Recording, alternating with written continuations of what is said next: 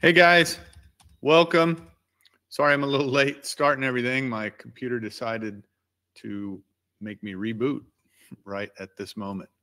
Um, but appreciate everybody joining. We'll get off to a fast start here. Real one thing I want to be sure that everybody's uh, familiar with and aware of. We're we're going to be trying to keep this as interactive as possible. We want to address your questions. That's the whole idea of this exercise is just to be here to help you make your email marketing work for you better. So uh, we definitely want to hear your questions. Um, in fact, if you have a specific situation that you'd like to share with the group, we'd love to have you do so. We'll just bring you on stage, is what they call it. Um, and you can tell everybody your story, you know, what you're trying to accomplish, a little bit about you, what your challenges are, just what your question is. And instead of just getting answers from me, you'll get answers from the whole group. Um, so it's a real uh, great opportunity. We got a lot of people showing up today, so you can get a, you know, uh, 30 heads are better than one, right? um, so as an example of how that will work, just so everybody can uh, understand that. I am going to right now invite Brent on our team on stage um, so that he can just say hello to you. Um, Brent, are you there? Looks like you're muted. Hey, sorry for that. Hey guys, how are everyone? Brent here. Yeah, and Brent, everybody, Brent will be keeping an eye on the chat, as will I. So as we go here, if you have questions, put them in the chat for sure. But then towards the end of the session, we'll, um, you know, if you want to come on stage and, and ask the group a question, great. Just mention that in chat, and then I'll invite you on stage. Hope that makes sense to everybody. Um, if it doesn't, let us know, and we'll, uh, uh, we'll, you know, let us know in the chat. Okay, so let's get started. Um, let's see. I'm going to, let's see. You guys are seeing my screen now. Okay. So just for everybody that's not been here before, we're, you know, our intent, like I said earlier, is to really help you with your email campaigns. We've been doing this for almost 20 years now. So we've learned a thing or two, uh, a lot of it the hard way and uh, you know just want to share that uh, experience with you. Um, one thing I want to do though is get you guys input or just get a feel for you know your level of expertise so we can make sure that we're not going too deep or going too slow. Um, so um, I'm going to pull up a poll here. And if you guys would just answer that quick question, rate your email marketing expertise. That way we'll all have a feel for you know the the group here and um, you know how much experience everybody has. Um, so i can see some answers coming in now.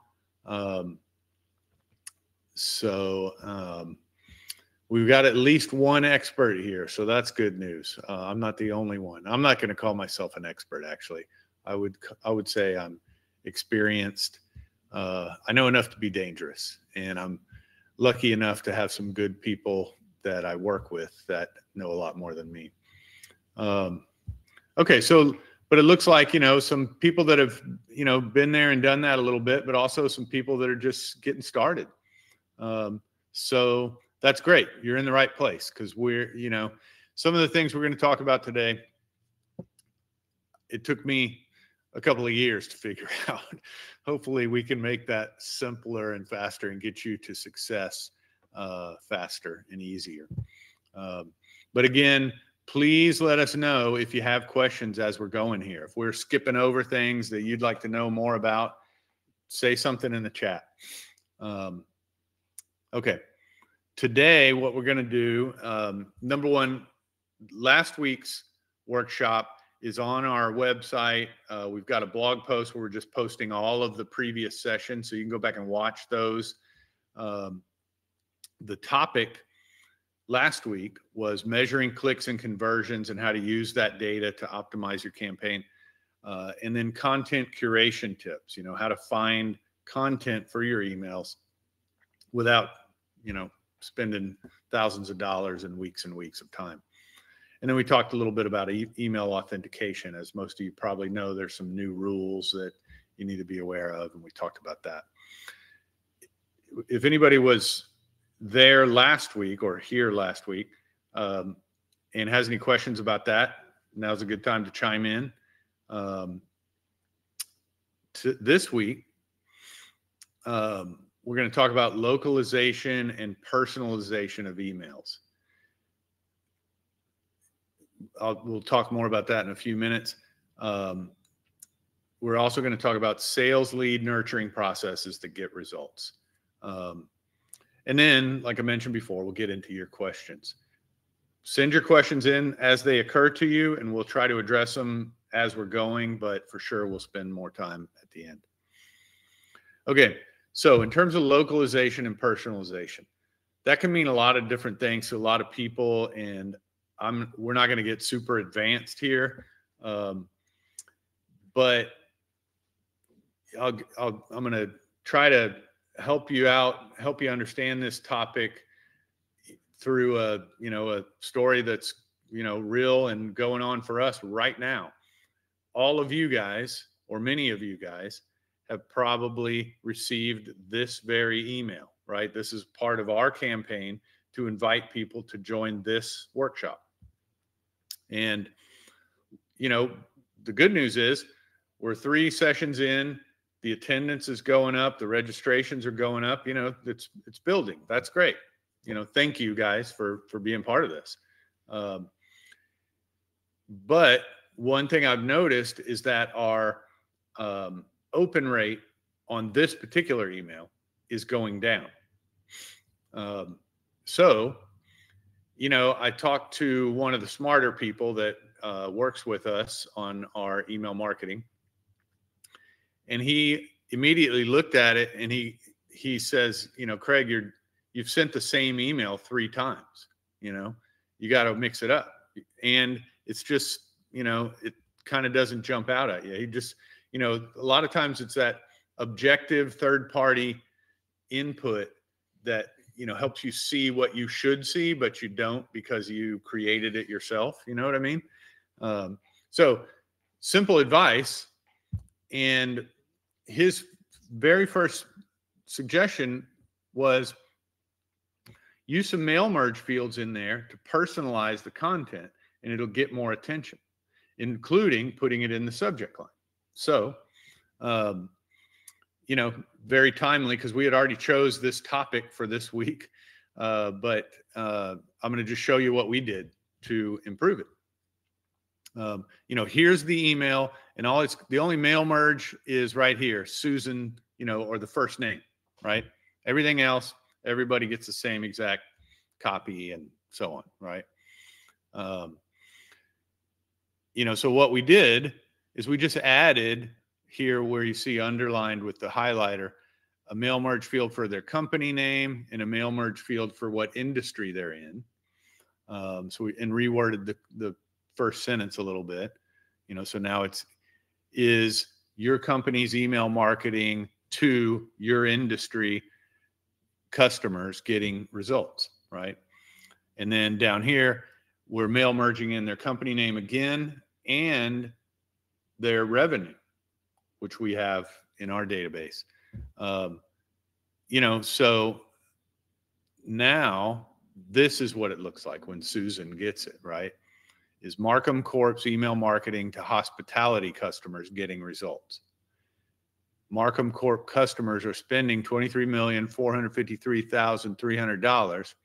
How much of that starts with your email campaigns, right? So just, you know, when to me, to my eye, first glance, if I'm Susan, I see the company name a couple of times, I see this number that just draws your attention, right? Um, and sure enough, when we sent it out, um, we tested it yesterday, and sure enough, got a much higher click rate. It was actually, I think, twice what we had been seeing.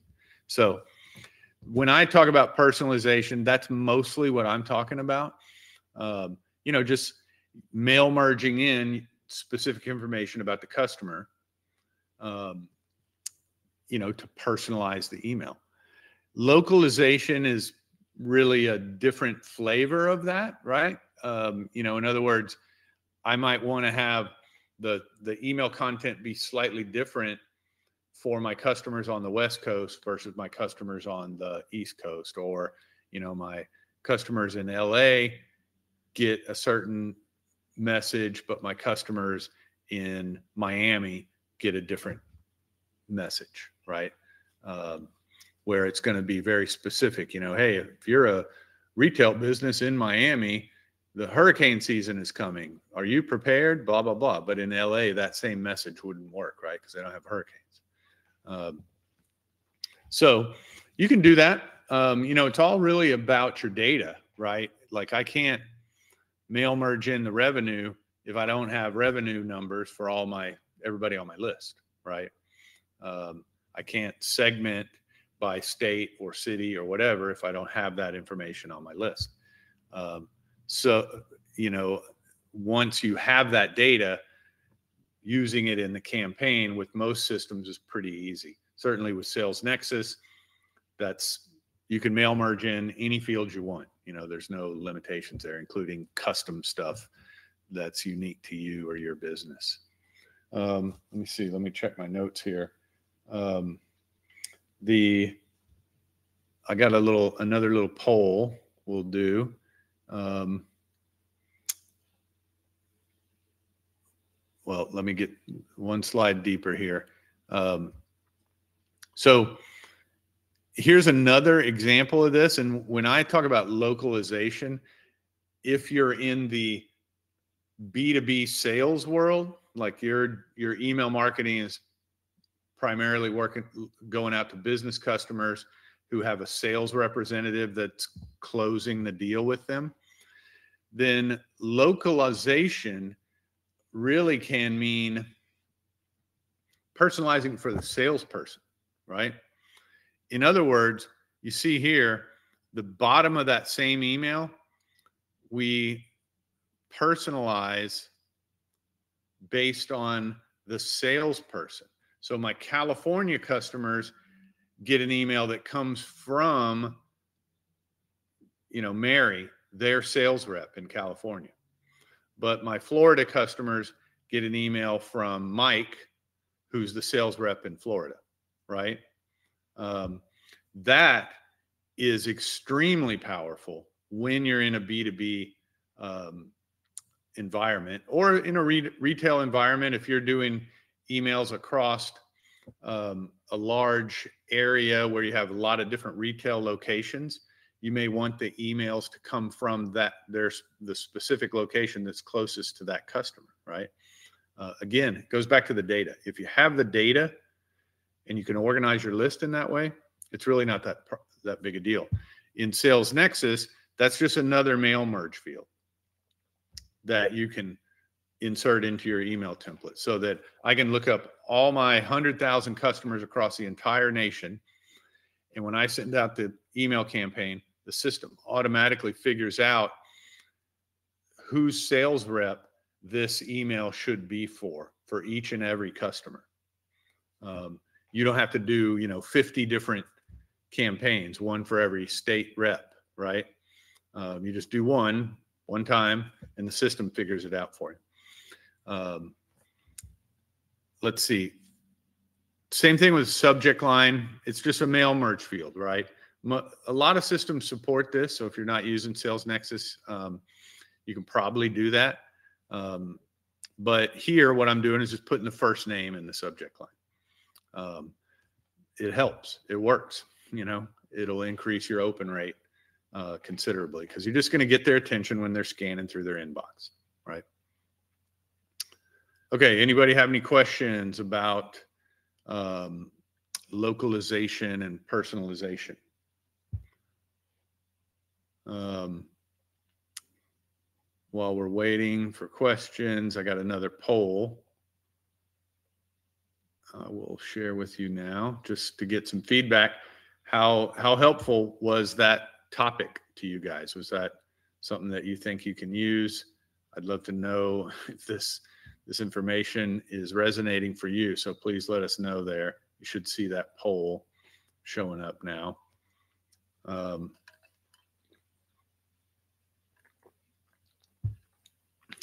let's see. Yep. So a few uh, answers coming in. If you, you know, if you if we didn't quite hit the mark for you and didn't didn't really answer your questions or go deep enough, definitely say something in chat. You know, let us know what additional information that you'd like to hear. Uh, we can definitely go a little bit deeper um, if you guys would like. It's it's tough to find the right balance here in terms of how much detail to go into. Um, and we're happy to do it if if we feel like the audience is going to uh, benefit from it. Um, let's see. Okay, so um, the next question that I hear a lot when we start talking about this, and I've brought it up already, you know, the, it's all about the data, right? If you got the the if you got good data, then you can organize your list in all kinds of different ways, and you can customize the campaign so that different people are receiving different messages, right?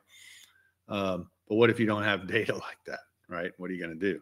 Um, well, so let me try and pull up my other screen here, and I'll just show you guys. Um, looks like I got logged out. I just want to show you a capability that we've recently added to Sales Nexus that I think could be helpful to everybody. Um, we, um, you know, even if you're even if you're not using Sales Nexus or planning to use it in the future, you can do this in a free trial. so uh, you might want to think about trying it. Trying it. I'm just going to pull up a list of leads here where all I have is their first name and their email address. I don't have states. I don't. I don't have phone numbers. Nothing. Um, you can see there's the phone field, there's the state field. Um, if I hit the little up button, now our system is going through our contact database and finding those email addresses. And you can see out of 27 people, it's going to update 20 of them for me with missing information, data that I didn't have in my database or on my list. So you can see now I got their last names, you know, uh, I got their company names, I got their mailing addresses in a lot of cases. If I drill into one or two of those guys, we'll see, um, you know, you get you're also getting their revenue and how many employees and social links and all kinds of stuff. Uh, I'll show you the social links over here. You know, so now I got uh, their website and their LinkedIn and their Twitter and all that and uh, you know so now i can use all that in my mail merging and segmenting and um, you know customizing and personalizing those campaigns right so you can do that with any list in sales nexus you just load your list in like i said before you could even do this in a free trial and then just pull up the list like i did and hit that green button and our system will try to match everybody and update it so you might want to try that out uh, okay, let me switch back over to the slides. Okay. All right, so now let's switch gears over to um, sales lead generation processes. Um, so what we're going to talk about here are calling the clickers, calling people that click on your emails um, being patient with this process because it's almost impossible to create the, the perfect process you know on your first try and then getting to the point where you can book meetings with email so you're sending out emails and people are booking meetings without anybody ever picking up the phone to call and set the appointment right so if you're in the sales the b2b sales world for sure and also a lot of other, um, you know, sales environments. That's kind of the holy grail, right? Um, and it can be done, you know. Um, so let's just get into how you do it. Um, so here's what a typical cold outreach sequence will look like up here in gray. Um, in fact, you know, a lot of us, a lot of you guys are probably getting emails all the time from people trying to sell you on some kind of program that will they'll do it for you. You know, um, there's different platforms out there that specialize in this kind of marketing. Um, and typically it's either starts with, you know, going to LinkedIn and doing searches to target the right customers. And then you're trying to send them messages in LinkedIn to get connected with them. And once you're connected with them on LinkedIn, then you can get their email and put that on your list and start sending them emails in your cold email outreach sequence, right? Or it may also be your um, existing list, you know, past leads, whatever. Um, and you have some drip sequence, you know, that's design, you know, written and designed to be uh, to go to people that don't know you, right? Uh, which is a, you know, its own thing, of course. Um, and then in that sequence, a lot those emails typically the way I see people doing it say something, you know, a little bit about, you know, sort of the, how you can help the customer, and then hey, if you'd like to learn more, you know, let me know a good time to call you, or maybe click my link to book a meeting, something like that, right? Um, and then you know those emails go out, and the people that don't respond at all, they go on some kind of, you know, nurture sequence or something, right? That's generally how these things are done. And in my experience, unless you have a really big list or a lot of manpower to plow into feeding people into that uh, process, it's really hard to make it work. Um, so, an alternative that we have seen work every time it's tried with our customers, we use it ourselves, our customers use it, um, is instead of trying to get that meeting booked in an email or with an email, you just call them when they click. You know, so it's the same basic sequence. You have some, you know, sequence of emails. Um, but when somebody clicks on it, you know, if you think about that, these are people that don't know you. Maybe you've just connected with them on LinkedIn or or maybe maybe they're an old lead, a cold lead, something like that. But you, you know, there's really not any engagement now. Uh, so they just got your email, and in their busy business inbox, they decided to open your email and look at it, and they read it, and they clicked on something in the email, right? So in a B2B world, that's a pretty strong signal, really, right? Because you know in my my inbox if if i don't know you and even if i open the email i'm just looking for a reason to delete the email really. You know it's going to have to basically say hey we have free money for you for me to click on the link you know? Uh, and that's that's so point being i'm raising my hand when i click on that link saying hey, you know what? This is kind of interesting in to me, and you might want to call me right now. That's the way we look at it. Um, so you pick up the phone and call them. And then, you know, you talk to them, you don't talk to them, whatever. And then the ones that you don't talk to, they go on some nurture sequence, right? So let's talk for a minute about calling those guys. Um, the key is timing right? Um, yeah, in fact, uh, here's a question that just came in the chat. Um, what if I can't call the clickers on the same day? Yeah, that is the rub. Um, great question, great timing. Um, because that makes all the difference in the world. If you think, again, go back to just imagining how you handle the emails that show up in your inbox, right? You know, we all get a lot of them and we go through a lot of them every day and we're kind of just trying to keep it clean, right? And stay on top of it and just kind of find a reason to ignore or delete an email, right? You know, so again, if you open it and click on it, that's a pretty strong signal. But, you know, an hour later, you're going to have more emails and you're going to go through the same process. And it doesn't take long before you forget ever clicking on that or going to that website or whatever, right? So, what I like to say is you definitely want to call them the same day. But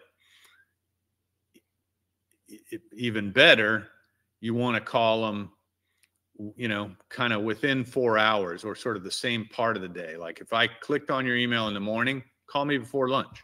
If I clicked on your email in the afternoon, call me that afternoon, you know. So if if you can't do that, back to your question, it's uh, it's usually not that you can't, it's that your system makes it almost impossible, right? Uh, in other words, you know, a lot of a lot of B2B environments, you got a marketing system where the emails are going out.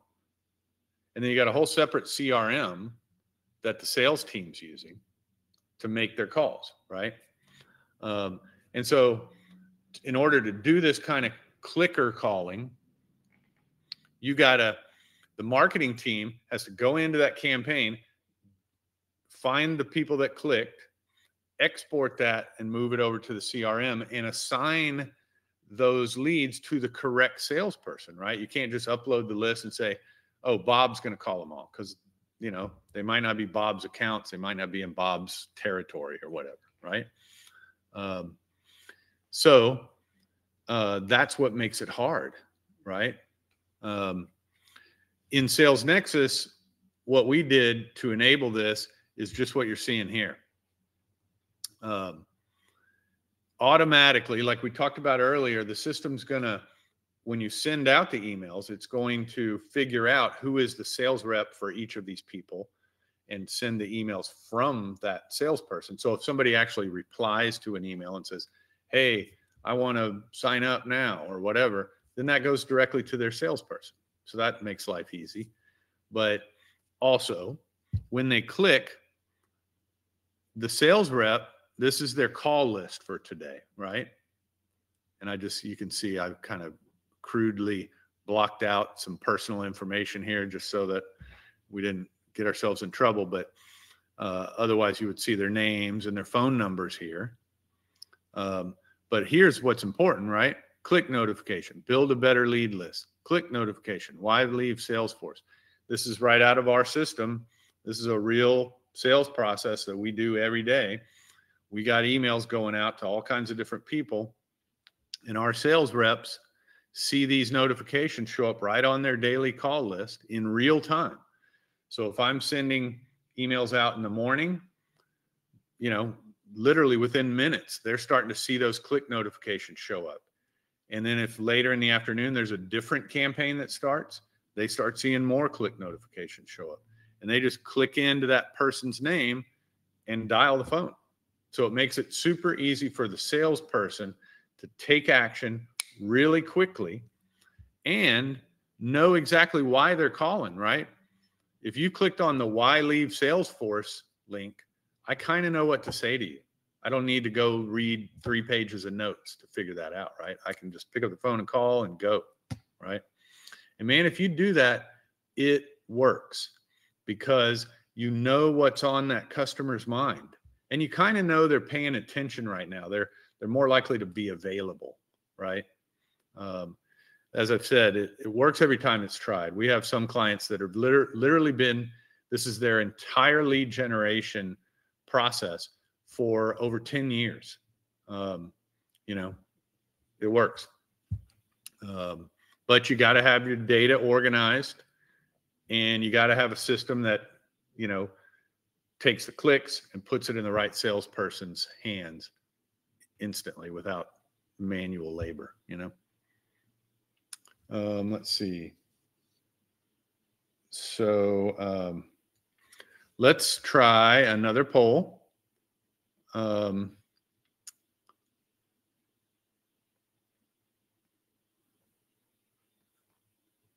I'd just like to know how many of you guys have done this kind of cold outreach before. Um, and we're going to get into a little more detail here, but that'll help me know kind of um, which way to go with it. Um, while I'm doing that, I'm going to put a couple other things in the chat here. Uh, we have a, a guide, a PDF that we call the email campaign guide. Um, and um, it's just a simple guide to creating a campaign from scratch. You know, what to think about, how to write from the standpoint of the recipient and not talk about you so much. And just you know the the finer points that we've learned over the years that work. Um, and then also i'm sending you our four steps to market domination guide. This one really gets into how to organize your data so that you can do these kind of things.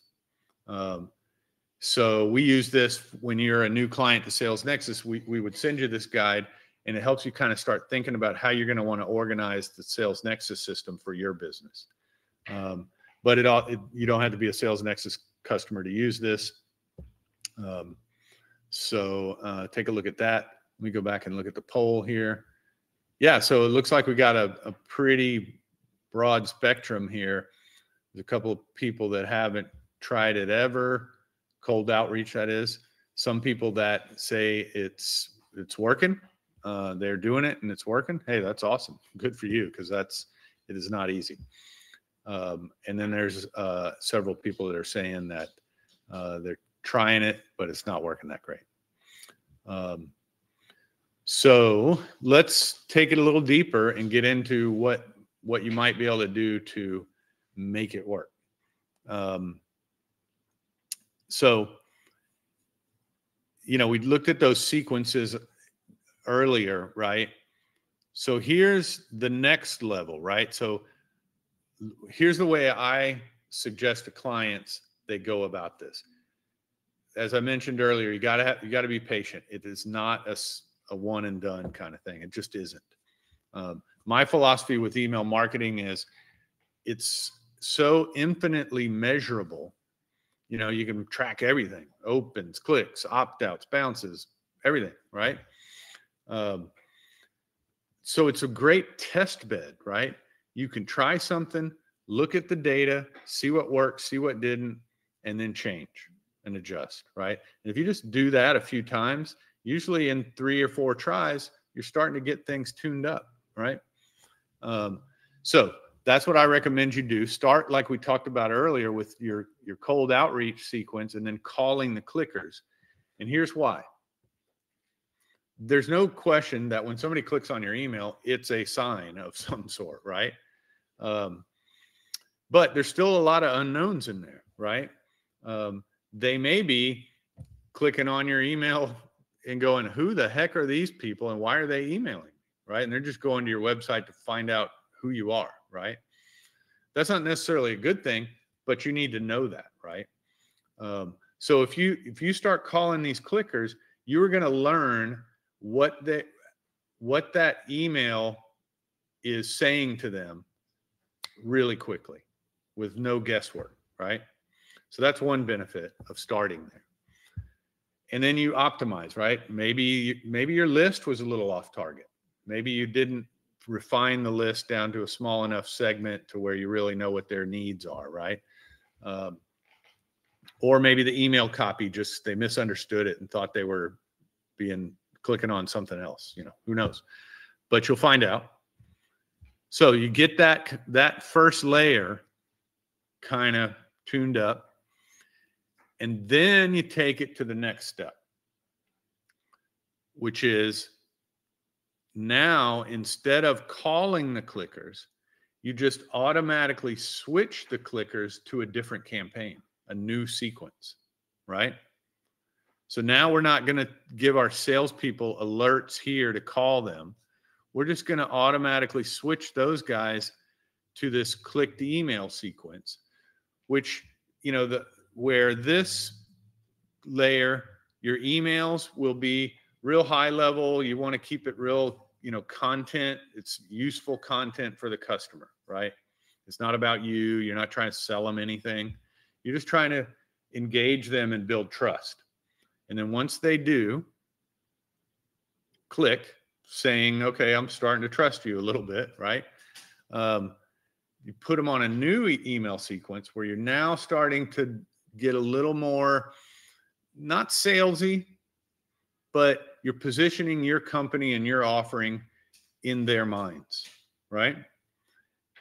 And then you can call those clickers, the ones that click that second sequence. That's a good way, again, to really optimize those emails quickly. You don't have to call them all. Just call a few and talk to a few, and you'll you start getting a feel for it uh, really fast.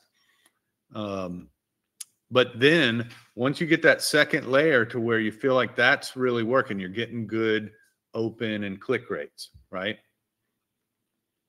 Then you add another email so that when they click on the, the second sequence, this clicked email sequence, now they're getting an email specifically asking them to set an appointment, right? Because now think about it. They were getting your content emails, they clicked, right? They went down to your kind of positioning emails and they clicked again. This is now a pretty darn strong signal, and there's no reason you shouldn't be saying, Hey, we should probably talk. Here's my link. Let's book a meeting, right? Um, you can get there, but as I've just described, it takes a lot of tweaking, right? You're just not, it's not realistic to think that you're going to write the perfect campaign that's going to do all this stuff perfectly uh, on the first try. You really have to be have the mindset of let's try it, let's measure it, let's see what worked and what didn't, let's adjust, try again. Um, let's see. Um, yeah, here's really the the key takeaways. Um, on your cold sequence, that's that top level. It's got to be pure, purely content. You're not trying to sell them anything. It's helpful info for the recipient. That's it. It's not about you. Uh, in fact, most of the time, it's almost better if you don't even have your brand in there, right? That's a whole that's a tough decision for a lot of people to make, but that's just what we've seen. Um, the second email sequence, that clicked email sequence, um, you know, the, the, here's where you can start using things that they're not it's not your product brochure. That's definitely not what it is right? That's just going to turn them off. You're not ready for that yet. Maybe it's a buying guide like you know hey if you're um i don't know if you're if you sell rvs right? Um maybe you got some kind of guide that's like the five things you need to think about before you buy an rv something like that right? Or a competitor comparison you know in your industry there's five different major comparison or competitors. You know, here's like a side by side of all those vendors, um, including you. Um, and maybe it's a little bit of about us, but not here's why our products and services are so wonderful. It's more about who are we as a company? How are we different from the other vendors in the marketplace? Um, those kind of things. Um, yeah, and that's that's what works. So now the next question is how do you get there, right? Like how does this tweaking process work? Um, um, if you have questions that you know you don't want to put in the chat or whatever, feel free to email me. Um, but if you have questions now, put them in the chat. Um, let's see. Katie's asking, would you suggest the same for nonprofits who send emails that are mostly informative and every so often send emails with a donate CTA or call to action. Uh, yeah, yeah. I mean, in fact, I've worked for a couple of nonprofits. Um, you know, we've had customers like that, and we've done, we've helped them kind of on a uh, what's the right way to say it? We've donated our services to help them develop campaigns. And, um, you know, it's the same idea, right? Um, you can take, you can do things like if you're, maybe you're sending a weekly, you know, kind of news update to your subscribers, right? Well, you know, maybe you send the donation email, the one, the email that asks for the donation, only to the people that click on at least three emails or something like that, you know, so that they're you you know the people getting the the the ask for the donation are the ones that are the most engaged and and value the content that you're sharing with them. So that's one example. Um, in terms of the calling aspect of that, I don't know if that's what you're asking about, but um, I don't think there's anything wrong with that um, in a in a nonprofit situation. You don't want to be salesy, obviously. You just want to take it at you want to position it as, hey, I noticed you were you've taken a look at several of the articles that we've sent you, or you know whatever they are, and I just wanted to get your feedback. You know, um, and you just they're they're going to tell you what they think for sure, and you just you're going to learn so much in those conversations that will help make your emails better, and they're going to tell you how they'd like to help you. You know, if they're big fans of what you're doing, um, that's been my experience. Um, let's see. Uh, so, any other questions? Anybody has? Uh, just type them in the chat there. Um, if you'd like to come on stage and share a, an experience or a, um, a question, a problem, a challenge, an opportunity that you'd like to get the group's input on, just say so in the chat and I'll, I'll, I'll get you on stage here. Um, let's see. As I mentioned earlier, one, the big thing that comes up when we talk about this sales lead generation process is, you know, that, that measuring and adjusting process. But it really doesn't have to be hard. It's really more of a discipline. You know, you just can't stop looking, right? You got to keep looking. Um, it's all about the opens and the clicks, as most of you guys probably know. If you know, first when you're first trying that that email sequence uh, at the top level, right, the cold outreach sequence, are you getting the emails opened, right? If not, then adjust the subject lines. Don't even worry about the, what's in the email. That doesn't matter yet, right? Uh, adjust the subject lines. If you adjust the subject lines and you're still not getting the opens, then you either got a problem with your list or some kind of reputation issue with your domain or your IP or something like that. Um, once you get the opens, then are you getting the clicks, right? If you're getting in this kind of thing, a, a cold outreach, um, you know, if you're getting two or three percent, you're doing good.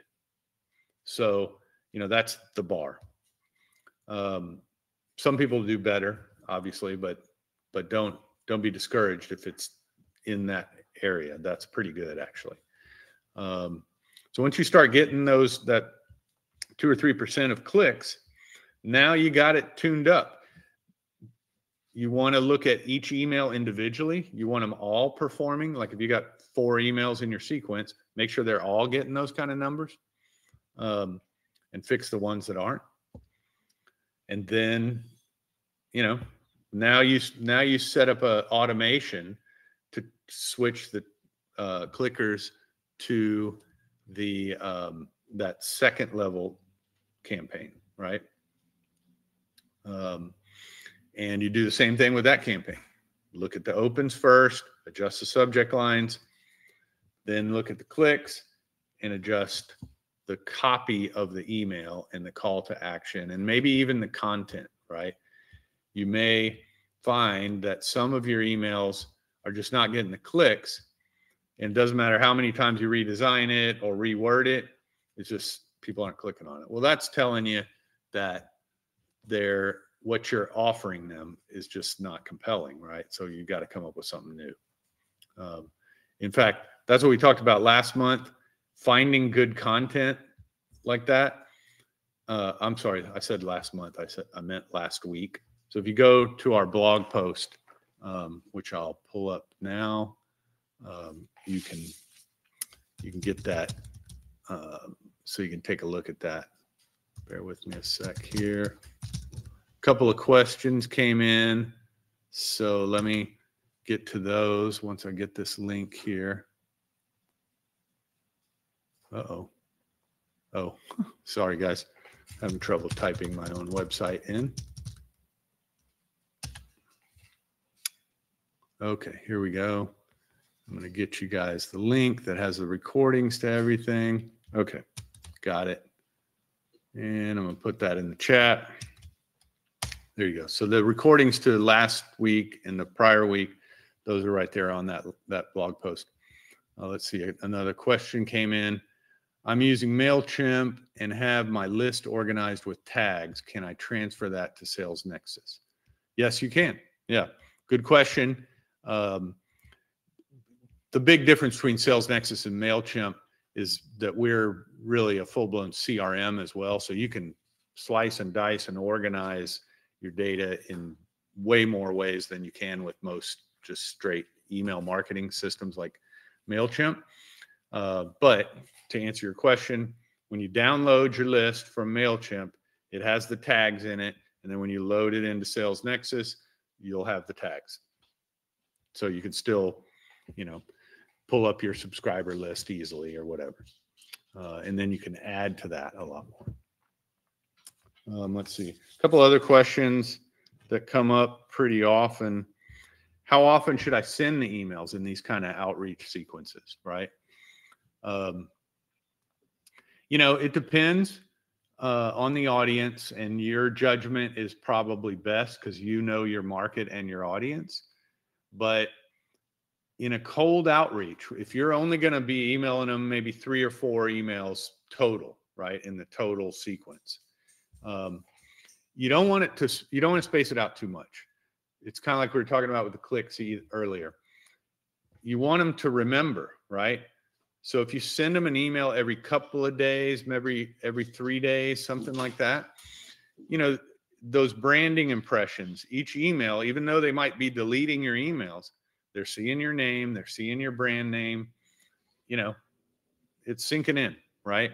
But if you space it out too much, it's not staying in there, right?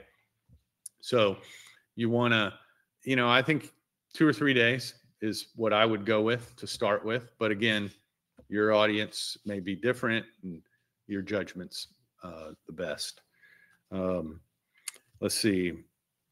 Also, um, emails that are text versus images and you know designs and stuff like that. That's a question that comes up all the time. Um, you know, again, for this kind of outreach, what you'll see with the you know the the firms that do cold outreach specifically they'll always go with pure text. That's mostly because it helps get past the junk folder, you know, or get out of the junk folder, get into the inbox. Um, so, you know, that said, what I would say is um, if that's an issue for you, then you probably want to go with pure text. Um, sort of less is more is my general rule of everything. Less copy, less links, less images.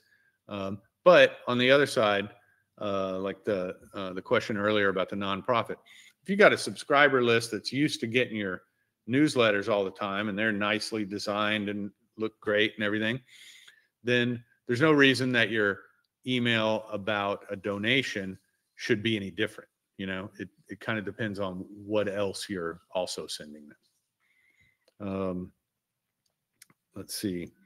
Um, yeah, and the other question that comes up a lot is, you know, this whole calling the clicker thing. Some people are sometimes uncomfortable with the idea of calling that person up and sort of freaking them out a little bit because, you know, how did you know I clicked on your email, right? Um, hopefully for you guys, you guys are all email marketing pros or becoming pros, so you understand that that's that's really not a big deal. But some people are uncomfortable with it. Um, what what I will say is number one, it just doesn't work very well if you don't call them pretty quickly. Um, you know, same day, like we talked about earlier. Number two, you just have to you know speak to the customer the right way right you don't you don't call them up and just immediately say hey i noticed you clicked on my link are you ready to sign up now right give me your credit card that's not going to work you know? It's more hey i noticed you were looking at our you know our pdf download our four steps to market domination or whatever.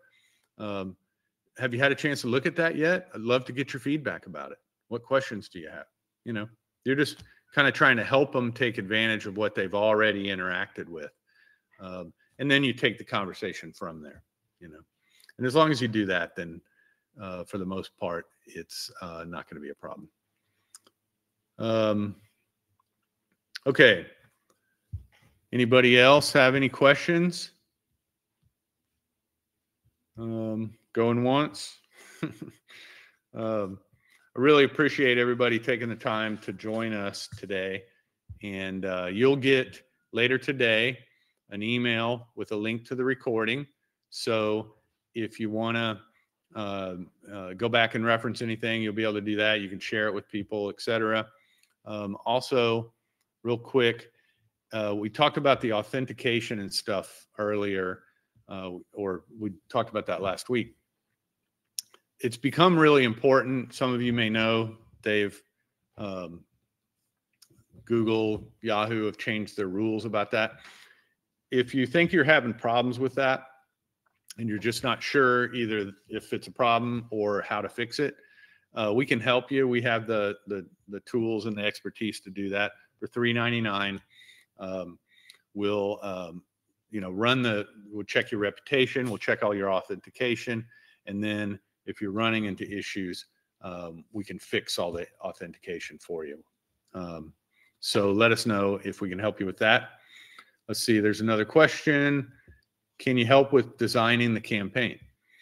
Good question. And the answer is yes. Yeah, we do have some packages where uh, we can help you design your first campaign. Usually, the way we try to do that is we'll consult with you you know you'll tell us about your strategy your audience what your call to action is what your goal is we'll work with you to develop that first sequence and help you send it out the first two or three times and help you measure the results and make the adjustments like we've been talking about and by doing that with you two or three times maybe four or five times you start to see how it all works and how to do it, and you can kind of take the ball and run with it.